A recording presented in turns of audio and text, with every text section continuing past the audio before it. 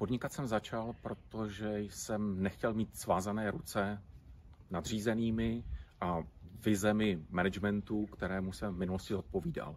Takže po nabrání zkušeností zhruba 15 let, kde jsem dělal placeného manažera, tak jsem chtěl udělat ten krok do vlastní firmy a začít podnikat a naplnit svoje vize.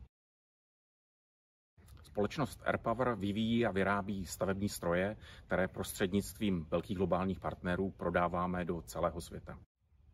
Největší výzva z mé strany, tak bych asi považoval to věřit si, vymyslet tu strategii a následně ji realizovat a natchnout to okolí kolem mne, aby na tom se mnou spolupracovali.